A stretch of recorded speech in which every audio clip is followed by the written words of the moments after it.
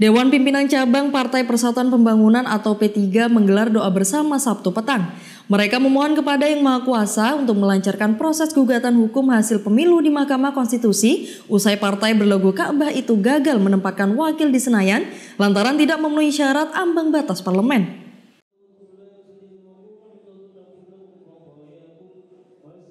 Diikuti puluhan pengurus dan kader, kegiatan bertajuk Buka Bersama dan Doa untuk P3 digelar oleh DPC P3 Jember di kawasan Pondok Pesantren Riyadus Solihin Jalan Melati, Kecamatan Kaliwates.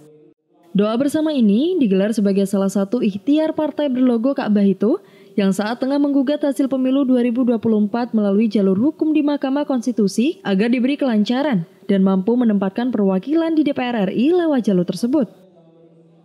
Gugatan KMK dilayangkan usai P3 gagal menempatkan wakil di Senayan lantaran tidak memenuhi ambang batas parlemen, yakni 4% suara nasional, di mana partai yang dipimpin oleh Mardiono itu hanya memperoleh 5,8 juta suara atau 3,87 persen suara nasional berdasarkan hasil rekapitulasi KPU RI.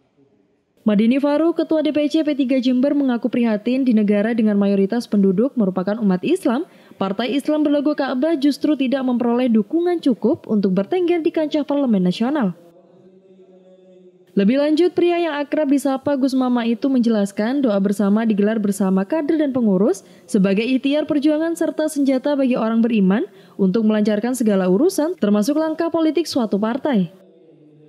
Ya, berangkat dari keprihatinan di negara yang mayoritas penduduknya muslim partai Islam yang berlambangkan Ka'bah tidak lolos PT itu keprihatinan kami yang kemudian ya apa yang bisa kita lakukan? Data-data kita sudah serahkan kepada DBP untuk diperlukan barangkali untuk bahan gugatan ke MK tapi di samping data tidak cukup data tapi juga doa. Karena doa itu senjatanya orang mukmin maka itu yang bisa kami lakukan. Kami ajak untuk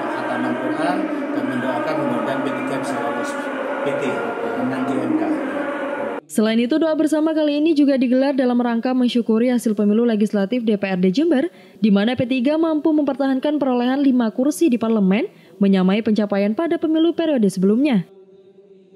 Dari Kaluatas, Vicky Mardika mengabarkan untuk KCTV.